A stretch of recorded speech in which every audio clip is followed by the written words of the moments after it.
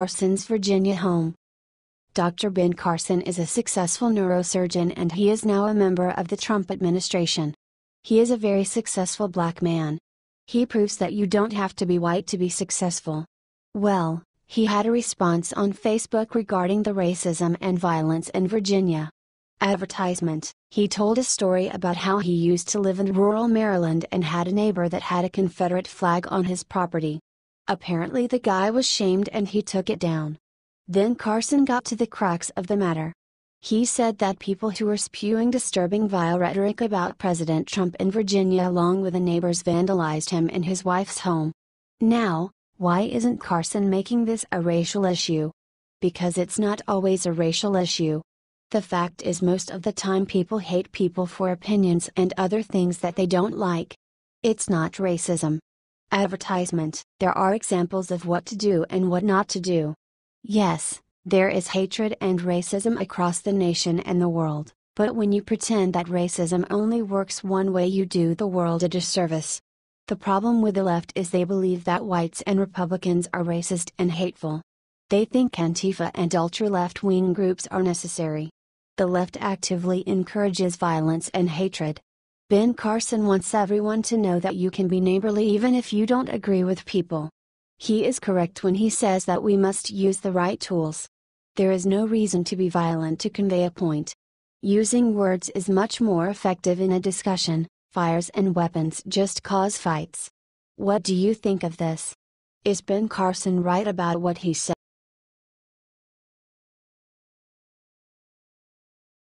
Loretta Lynch woke up, read this, and immediately looked for her passport. Uh oh. It looks like the past is coming back to bite Loretta Lynch. She is the reason for the latest request in Congress. House Republicans who are members Judiciary Committee have issued an official request for a second and individual special counsel to investigate criminal activities. Advertisement They are requesting another special counsel to investigate actions by Obama administration officials and Hillary Clinton during the 2016 presidential election. Committee Chairman Bob Goodlatte and other GOP members of the committee submitted a formal letter to Attorney General Jeff Sessions on Thursday. The letter also addressed to Rod Rosenstein while they requested a second special counsel. The letter was adamant about wanting to investigate Obama administration officials. Two of the big names on the requests were Loretta Lynch and James Comey. The two who colluded to make sure Hillary's investigation was called a matter.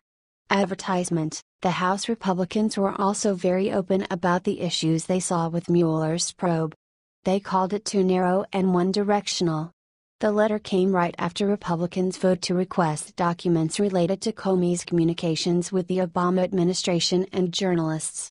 Republican reps Andy Biggs, Arizona, Gaetz, Florida, Jim Jordan, Ohio, and Mike Johnson, Law, were co sponsors of the GOP amendment. The left has been very upset about Comey being abruptly fired, but they forgot that it is in Trump's power to do, and Comey admitted to not doing his job during the Hillary Clinton email investigation. Not to mention that Loretta Lynch is the reason the matter was dropped. The best part of all of this is that the liberals are watching their corruption and their lies get exposed every day by the Trump lead cavalry. What do you think of what is going to happen to Lynch? Should she be more worried than everyone else that is going to be investigated? Will this lead to putting Hillary in jail?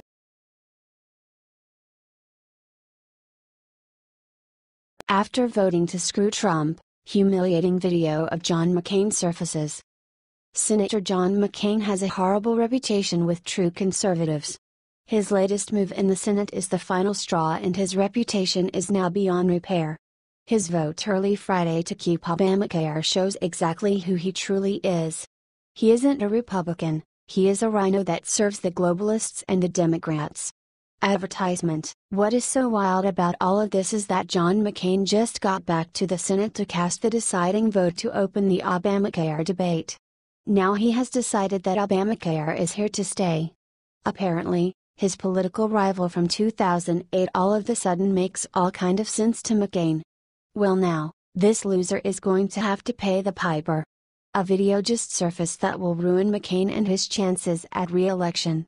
During his 2016 campaign, He said that Obamacare didn't just need fixing or slight altering. He was ordering a full repeal of the wealth redistribution bill that Obama and the deep state forced through. Advertisement One of the debate moderators asked McCain if it was possible for Congress to try to. McCain was very clear that he didn't believe that we could fix Obamacare. He was very adamant about a full repeal to fix the mess that it causes. We have to scrap it entirely and start over. McCain went on to explain why Congress must repeal Obamacare. It's a scam and the problem is, that the cost is becoming prohibitive and we've got to change it and fix it. There's nothing John McCain can say to make up for this planned and disturbing betrayal. Senator McCain doesn't care about America.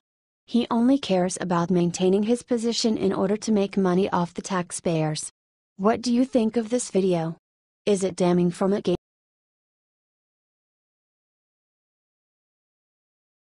Bill O'Reilly just put final nail in career of John McCain with instantly viral tweet. Obamacare was one of the worst things that former President Barack Obama left in his legacy. During his political campaign, Donald Trump promised to repeal and replace the Obamacare. However, many senators voted against Trump's health care plan, including Republican Shelley Moore Capito of West Virginia, Susan Collins of Maine, Lamar Alexander of Tennessee, Dean Heller of Nevada, Rob Portman of Ohio, John McCain of Arizona and Lisa Murkowski of Alaska are the Republicans who voted against repealing the Obamacare. After this vote, skinny repeal was introduced. Many people believe that this bill, which included great features, will pass through the Senate. However, four of the senators mentioned before changed their minds, while Collins, Murkowski, and McCain voted against the bill. This is not the first time that Arizona Senator McCain went behind Trump's back. Ever since Trump made a joke at the expense of McCain's military service, McCain has been holding a grudge. He's been constantly going against the president's wishes. He sabotaged Trump's healthcare plan and then made a lame excuse about his action. However, television host Bill O'Reilly took it to Twitter to send a message for Senator McCain. This tweet immediately went viral and many Twitter users agreed with O'Reilly. He lost the respect for McCain and I don't think he's the only one who lost the respect. After all, McCain not only betrayed the president, but he betrayed the country and the American people. I think it's safe to say that McCain is no longer a Republican. His last move should be a resignation letter. What are your thoughts about his betrayal?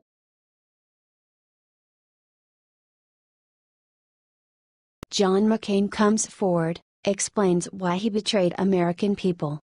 President Donald Trump has promised to repeal and replace the Obamacare during his political campaign. He wanted to lower the costs and health care for all citizens. However, that's not going to happen anytime soon as senators voted against his health care. Some of the senators who voted against the repeal of Obamacare were Republicans, including Arizona Senator John McCain. Obamacare was one of the worst healthcare reform this nation has ever seen and needs to be changed. This is not the first time that McCain went against Trump's wishes. It appears that he had a change of heart. McCain's vote against the repeal could cost the American people big time. World Politicus reports this has caused President Trump to blow a gasket, in a sense, as it is a clear act of defiance. There was no reason for McCain to vote against this repeal. The new law is built around helping the American people. Liberals try to attack it for ignoring the needs of people, but they obviously have missed the point. McCain tried to explain his vote. Not only he betrayed the president, but he betrayed the American people. It appears that he changed his conservative values to liberal. World Politicus reports Democrats have even started to count on McCain to defy Trump at any chance he can get, and that is never a good thing. It all started when Trump made an ill timed joke at the expense of John McCain's military service. Wow, McCain holds a grudge against the president and he wants revenge. That is the only reason why he constantly goes against Trump's wishes. Although he was supposed to support the president, he became one of his worst enemies. McCain is no longer a Republican on paper. It's time for him to resign. Do you agree?